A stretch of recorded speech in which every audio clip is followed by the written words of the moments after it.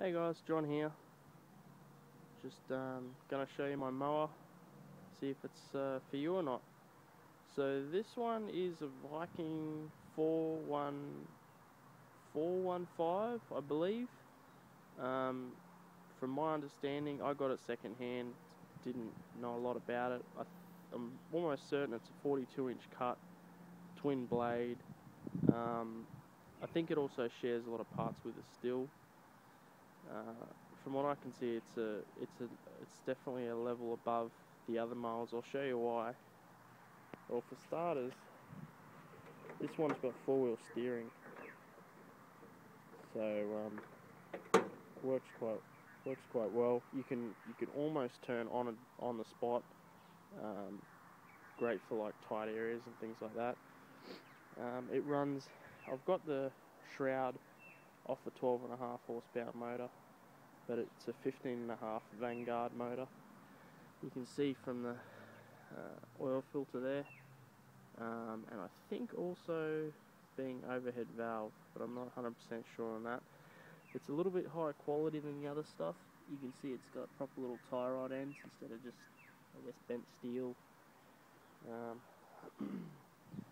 the belt is is in reasonable shape. It's got probably one flat spot on it, so it just gives the deck a bit of a vibration. You can see the deck's really rusted out in some spots, but it's in others it's, it's really good, which is a little bit frustrating. If you've got the time to weld it up, it's going to be a really clean deck.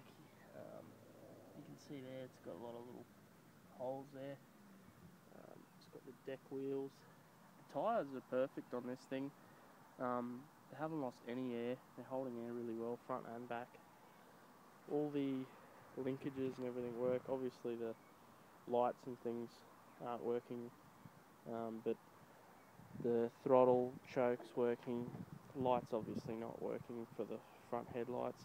I do have the shroud for this one, um, which I'll include with it. It's going to need a seat obviously. Um, deck height adjustment works fine. It's also got the uh, the supports here for the, I guess, uh, grass, the thing that holds the grass clippings.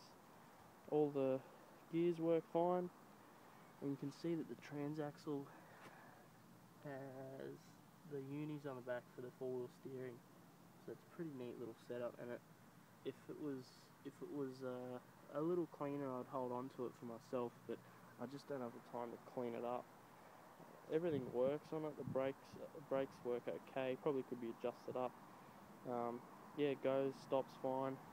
The your uh, your deck engagement levers there. I've rerun fresh wiring for everything, just to just to get it all running up to a new switch under there. I had, I had time to do that. If it doesn't sell for enough, I'll probably tidy it up and just use it, get a seat on there and weld up that deck, but the way things are going, I probably won't have the time. So, yeah, happy bidding, and uh, maybe it's something that you would would use. See ya.